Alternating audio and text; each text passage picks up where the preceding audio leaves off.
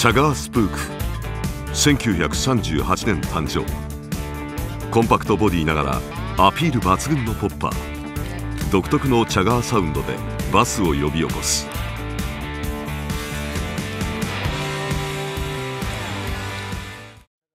チャガーっていうぐらいぐらいなんでこうしゃぐる。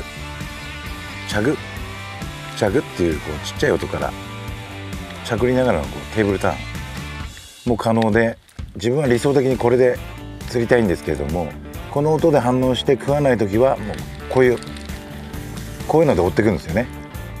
こういうので追ってきてバーンと。逃げちゃうと。獲物が逃げちゃうという感じであの魚が出ますんで。やっぱ着水してポーズ取ってよくポーズ取ってポーズ取ってポーズ取ってちゃちゃぐると。これで釣りたいんですけどこういう水をつかむようなロッドを立てて音を立てて止める。で悩んでると。そういう時にこうこれでよし来た。あー来た。すげえ。あースモール。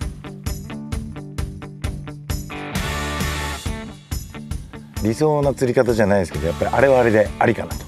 エキサイティングな。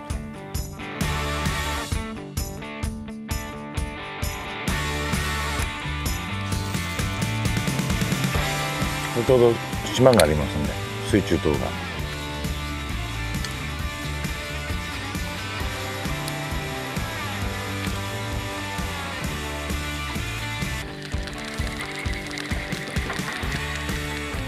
わあでかい。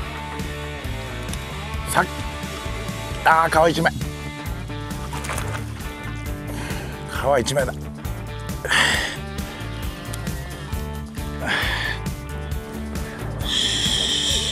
よっしゃ。ピックアップ。なんだろうって感じだ。おお超エキサイティングです。ああちょうどねここにあの水中灯があるんですけども水中灯をポコンポコン、えー、それで反応させて多分バース反応してていまいち食うか食わないかちょっと悩んでたと思うんですけどでピックアップでもうあ行っちゃうと思ってバーンと船べり寸前で食わせました。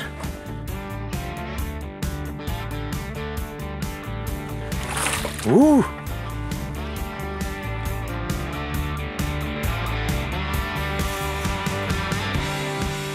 あのピックアップ上に上げちゃうとあれなんで下に下げるとバスが乗ります。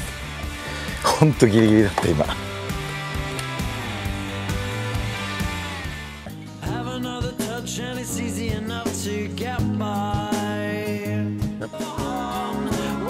1970年代日本のバスフィッシング黎明期に広まったトップウォーターバスフィッシングの世界はヘドンが大きな影響を与えた。だが今では独自のデザインや色使い材質の多様化したものへと進化を遂げている。フロッグプロダクツ新井健太。ドゥアーデザイナートップウォーターアングラーとして日本のヘドンを目指す。夢への挑戦はこれからも続く。